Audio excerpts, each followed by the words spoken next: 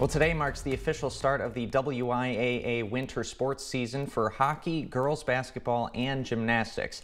But of course, due to COVID-19, not all of our area schools are starting on time according to the WIAA calendar. Some schools are waiting until November 30th, others until well into December or even January.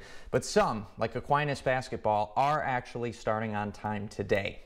Now, the last time the Blugolds were in their gym together, they were returning home from Green Bay in tears, where their title game against Melrose Mindoro had been called off because of the pandemic. Losing the chance to play a title game still stings for this returning group, but the task now for Macy Donarski and the rest of the team is trying to play safely as the pandemic continues to rage in both their state and their county.